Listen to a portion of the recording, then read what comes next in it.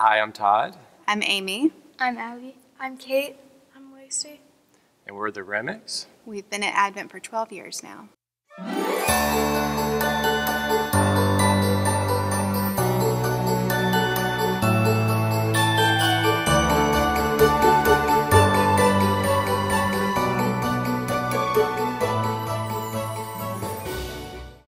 The biggest impact that the giving had on us uh, for the last mission opportunity was that it's the gift that we still remember all these years later.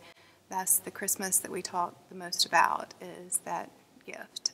And so it was a great opportunity to be a part of that mission and to still be able to ride down the street and see those homes and to know that because of something that we did as a church family that that was possible.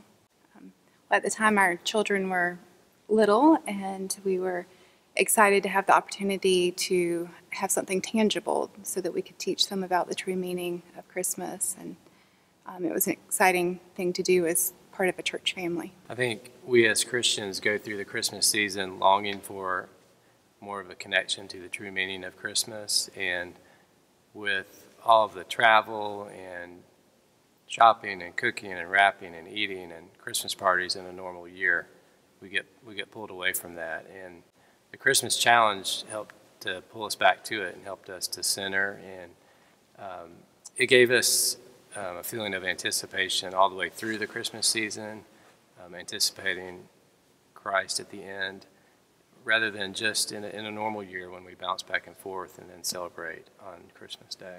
Um, when I think back to the first time that we did it, it was like six years ago, but I don't really remember the gifts that we got that Christmas. What I remember from that Christmas is the gifts that we kind of gave as a congregation. So we were driving to Elevate the other day. We just saw one of the houses that we were able to build as a congregation. And I was just amazed that because everybody or everybody that participated just gave half of the money that they normally spend on Christmas gifts and give it to other people, we were able to build homes for others.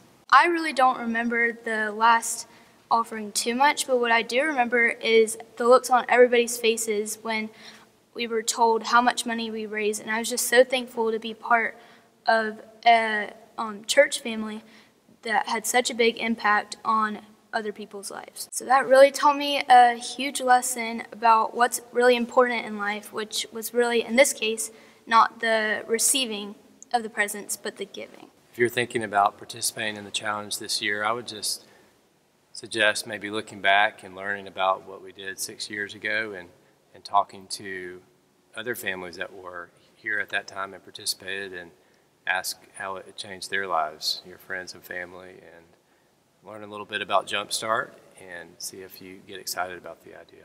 To anyone who's on the fence about participating in this challenge, I would say just go ahead and try it and see the impact that it could have on your life and someone else's life. I think it's important to help help others. You should help by giving to others. I think in 2020 we're all looking for the good, so this is the opportunity to be the good. So give it a try.